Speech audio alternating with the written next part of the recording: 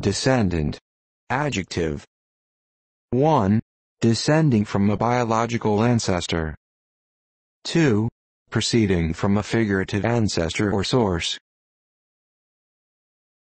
Descendant. Noun.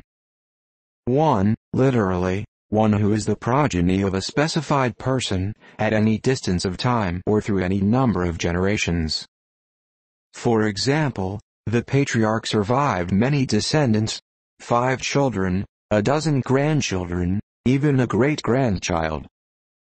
2. Figuratively, a thing that derives directly from a given precursor or source.